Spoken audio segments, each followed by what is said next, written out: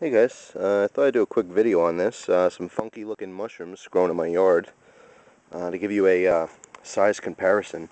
Here's my hand next to them. I'm not going to get too close because uh, from uh, just a quick quick research, I believe these are called jack-o'-lantern mushrooms.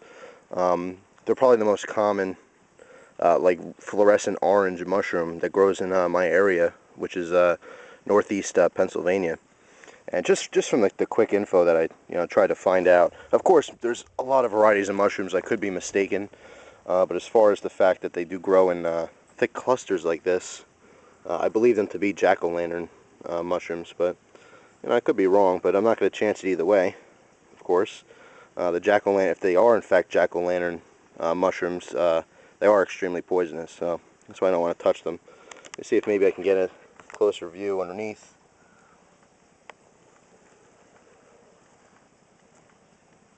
Uh, looks like something's been uh, eating the edge there. Uh, I'm not sure what kind of animals are immune to it or if in fact maybe they aren't immune and uh, they died somewhere or just got terribly sick. I'm really not sure. But I would I thought I'd show you that. There's more. You see see over there some smaller clusters and even over here in the front there's some more. So I can I can see something picking on there. Something was eating them a little bit. Uh, maybe it was a bird, some kind of bird or something.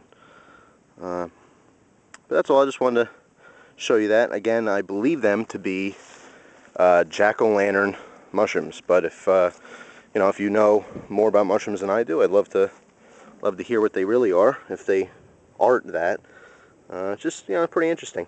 Again, for size reference, it's a pretty big cluster. Each cap is probably I don't know about four four inches to five inches across on this specific uh, cluster anyway. So that's all. Just a quick uh, mushroom video. So once again, thank you for your time.